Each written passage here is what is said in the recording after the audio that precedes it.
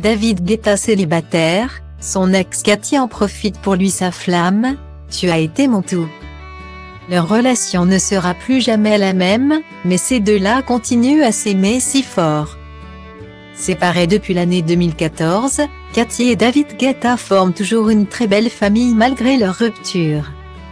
Si bien que dès que l'un fête son anniversaire, l'autre a forcément une douce pensée pour le passé.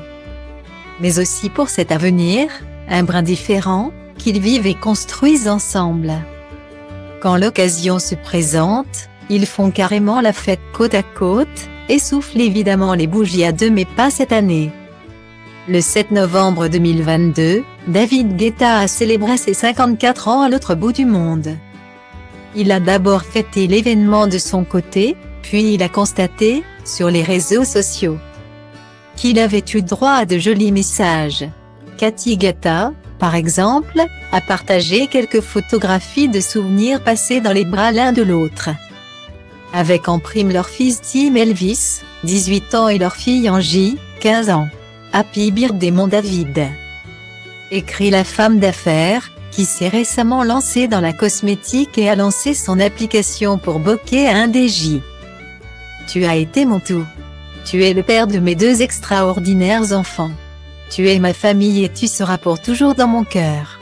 Gros bisous de Los Angeles. Guillaumet. Bien sûr, Cathy Guetta n'est pas la seule à avoir eu une pensée pour David Guetta. Le 7 novembre 2022, son visage est tout simplement apparu un peu partout sur les réseaux sociaux.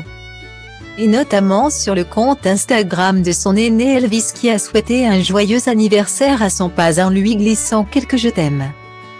Si tout semble aller pour le mieux dans la famille Gata, une période fut, évidemment, un peu compliquée pour tout le monde, celle qui a entouré le divorce du roi et de la reine de la nuit.